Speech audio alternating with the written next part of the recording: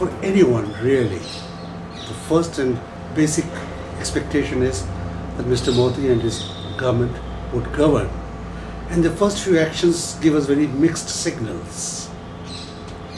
He wants peace in the subcontinent, that's very good.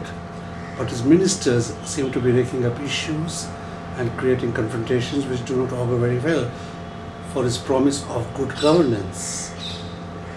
As somebody who belongs to a minority community and has been agitating for the issues of all minorities and all marginalized people, not just Christians, I would say the first and basic issue is security and the freedom to be who we are, not to for somebody to demand that we conform to somebody else's definition of what an Indian should be, or what Indian culture should be, or what and how Indian people should behave.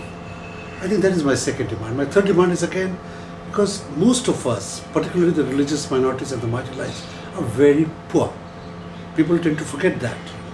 And anything that goes to relieve poverty, to create employment, is something that is good for the country. And lastly, one of the most ugly laws of the last government was the Unlawful Activities Prevention Act, UAPA, under which many youth, Muslims and Christians, and I suppose Sikhs, were put into prison. Now that act, I don't expect it to be scrapped, but I so want it to be scrapped.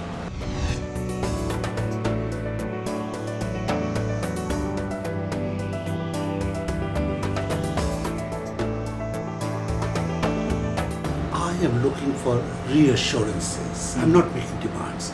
And I think the first signal I want from Mr. Modi is hmm. that he is not going to meddle hmm. in my identity.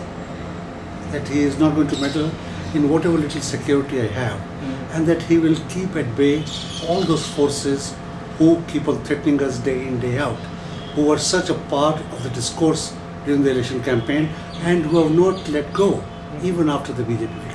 Mr. Modi must do things to reassure the marginalized people. The first few policy decisions he must make are to assure his non-voters, if I may put it that, that they too are citizens and will get his undivided attention. That the concerns, their security, their identity would be part of his concourse and that he would not allow the Sangh Parivar and the other baggage that he brings with him to government to influence his decisions.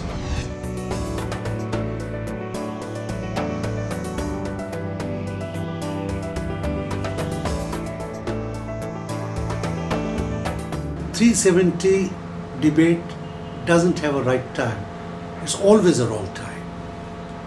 Kashmir ascended to India on the basis of Article 370 at a time when religious minorities across the country need reassurance, at a time when peace with Pakistan is being negotiated, at a time when signals have to go to the people of the Kashmir Valley that they are very much a part of India as citizens of India. This is not a debate we should be undertaking. Some people in Udhampur may have slightly better options, but we are talking of Kashmir, which has the valley in it, which has the plateau of Ladakh in it, and we have Jammu with a very mixed population. Who are the stakeholders? Every single group is a stakeholder. The BJP and the RSS of Jammu are not the only stakeholders.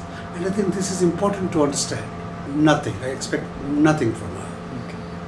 I, in fact, am one of those who wants the ministry scrapped almost consistently, almost all the ministers of held this ministry have done nothing for the minorities.